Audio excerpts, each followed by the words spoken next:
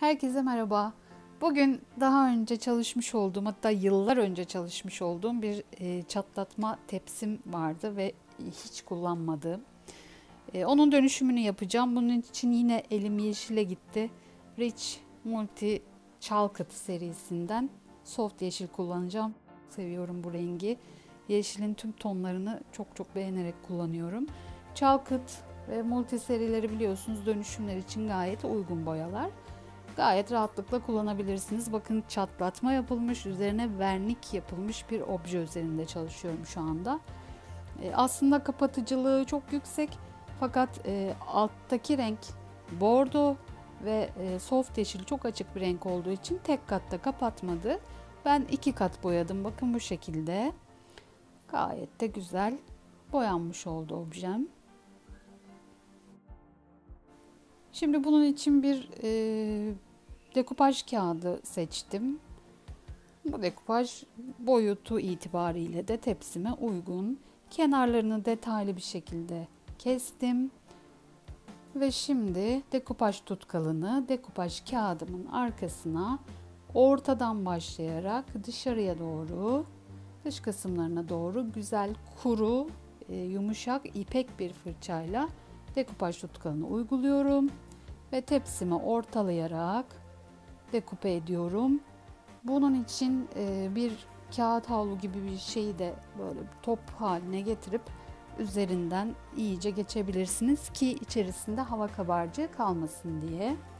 İyice içerisinde hava kabarcığı kalmadan dekupaj kağıdımızı tepsimize dekupe ettikten sonra birkaç dakika bekleyip tekrar dekupaj tutkalını üzerinden geçiyoruz ki bir nevi dekupaj kağıdımızı korumaya almış oluyoruz. Şimdi e, daha önce yapmış olduğum bir parmak yaldız uygulaması vardı süngerle. Aynı uygulamayı ben tepsilerde ve bazı objelerde eskitme için de kullanıyorum. Bunun için kadensin nil yeşili rengini kullandım.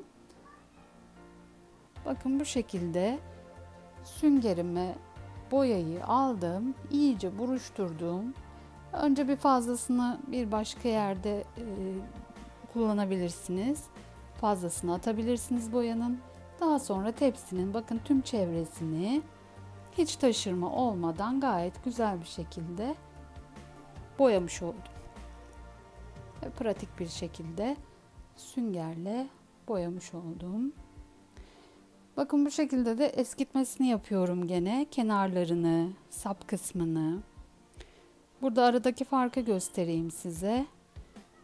Bakın bu şekilde ve bu da hiç e, eskitme yapılmamış hali. Bu tarafı eskitmeli hali.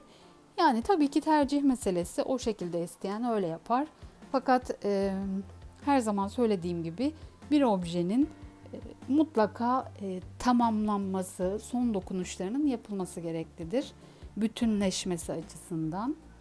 Ve şimdi burada e, Antik Gold yine Rich'in Antik Gold Metalik serisinden e, Antik Gold rengini kullanarak sıçratma yapıyorum. Bunun için bir eskitme fırçası yeterli olur. E, hatta ben biraz küçük bir fırça kullanıyorum şu anda. Daha büyük bir fırça kullanabilirsiniz. Bu şekilde boyayı alıyoruz fırçaya. Parmağımızla e, kılları sürterek sıçrama boyanın objeye sıçramasını sağlıyoruz. Ben yine gün ışığını kaçırdım. Fakat size e, bu şekilde yine de objeyi fotoğrafladım. Bakın sıçratma yaptığımız yerlerde burada. Bu şekilde görünüyor. Altından çok hafif şekilde çatlatmalar da yine belli oldu. Son hali budur. Burada dekupajı, e, süngerle eskitmeyi ve sıçratmayı hep birlikte göstermek istedim. Faydalı olmuşsa ne mutlu bana. Benden bugünlük bu kadar. Kendinize çok iyi bakın. Sağlıkla kalın, mutlulukla kalın. Hoşçakalın.